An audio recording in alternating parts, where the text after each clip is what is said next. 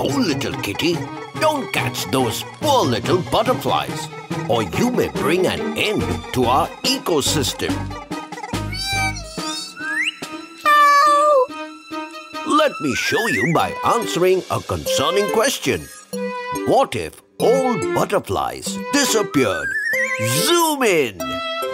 Butterflies, with their vibrant colors and delicate wings, are more than just beautiful creatures. With around 17,500 species found in almost every habitat on Earth, butterflies play a critical role in maintaining biodiversity, pollinating plants and serving as indicators of environmental health. Unfortunately, in recent years, butterfly populations have dropped alarmingly, with 40 species in the UK alone facing severe declines. This decline is troubling as it signals an early warning of larger ecological problems. But what's causing this decline in the first place? Well, there are several factors and one of the most pressing is climate change.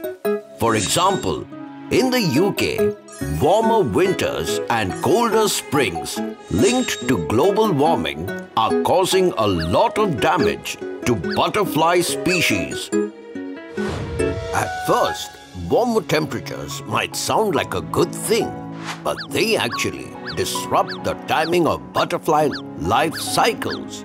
As a result, some larvae end up emerging too early, and when they do, they often face food shortages or are killed by unexpected spring frosts. Besides, this habitat destruction is another big issue as human development, agriculture and urbanization are breaking up the habitats that butterflies depend on for food and reproduction. On top of that, Pesticides, especially those used in farming, are making things worse by killing not only pests but also butterflies and the plants they rely on. Invasive species add to the problem, competing with butterflies for resources or directly harming their eggs and larvae.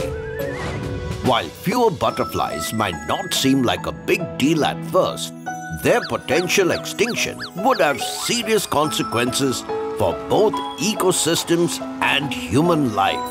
Yes, think about it. Butterflies are important pollinators, helping wild plants reproduce.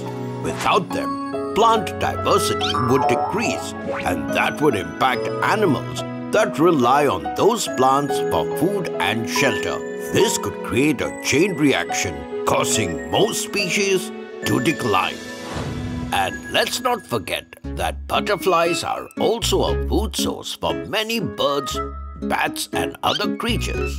If butterflies vanish, those animals could struggle to survive too. Beyond that, butterflies serve as bioindicators. This means that their decline is a warning sign that our environment is in trouble. Their sensitivity to changes in temperature, habitat and pollution reflects the overall health of an ecosystem.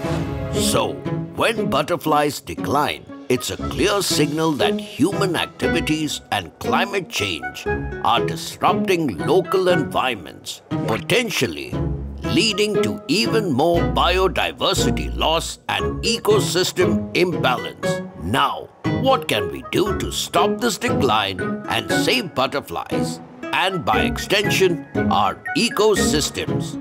First, we need to protect butterfly habitats. That means reducing deforestation, limiting pesticide use and preserving wildflower-rich areas where butterflies can thrive. Next, we should support conservation efforts focused on restoring butterfly-friendly environments and creating butterfly corridors, continuous stretches of habitat where butterflies can move and live freely. And of course, addressing climate change is key.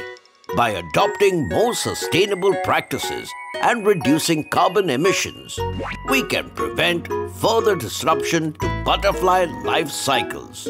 Remember, my friends, by taking these steps, we are not just saving butterflies, we are also protecting the ecosystems they support and ensuring a healthier, more biodiverse planet for future generations.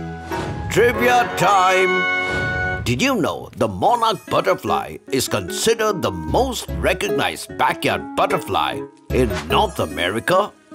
Sadly, monarch butterfly populations have dropped by an estimated 85 to 90% in North America over the last 20 years. Sketching time! Today's sketch of the day goes to Abhimath Chatterjee. Hope you learned something important today. Until next time, it's me, Dr. Binocs, zooming out.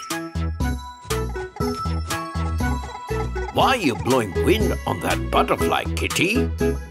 Saving it from global warming. Well, never mind.